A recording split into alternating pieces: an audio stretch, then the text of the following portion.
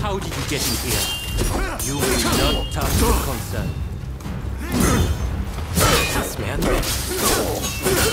First, we must make put his sword away.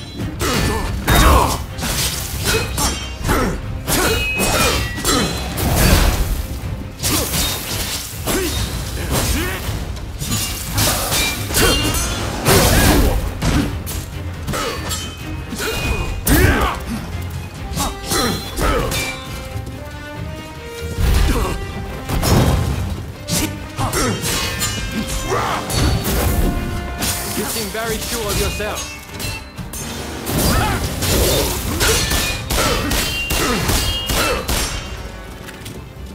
Ah, You've got the edge over the others.